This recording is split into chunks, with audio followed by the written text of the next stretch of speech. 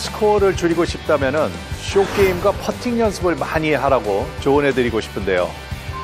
정확성이 특히 요구되는 쇼게임과 퍼팅, 고치리를 사용하면 자신의 스트로크와 궤도를 눈으로 직접 확인하면서 보다 효과적으로 연습할 수 있습니다.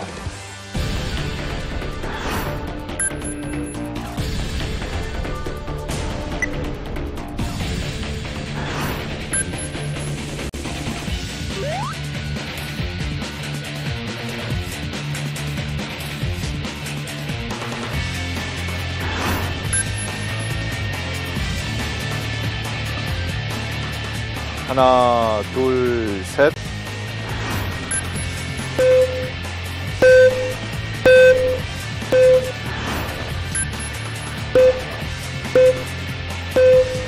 One, two, 제가 고치리를 착용하고 직접 스윙해 보겠습니다.